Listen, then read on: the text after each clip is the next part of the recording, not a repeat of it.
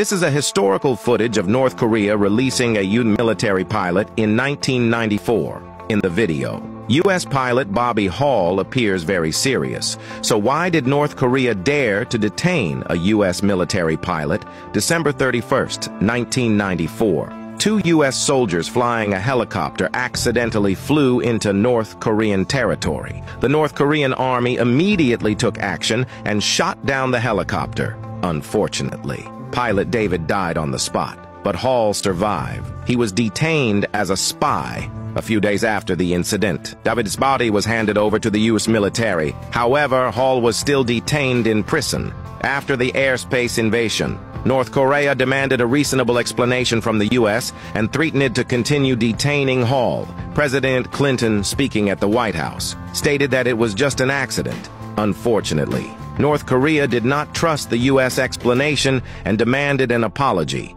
As a global superpower, the U.S. naturally would not comply with North Korea's demands, so the two sides were deadlocked for half a month. Public pressure in the U.S. grew. The public urged the government to take action to rescue Hall. Under pressure, Clinton had to make concessions. So on December N. Hall, who had been detained for 17 days, was finally safely released. When he reached the dividing line, he did not immediately cross it. Instead, he waited for the North Korean officer to finish speaking. He only crossed the border under the signal of the U.S. commander. It is worth noting that the bag in his hand was a gift from North Korea.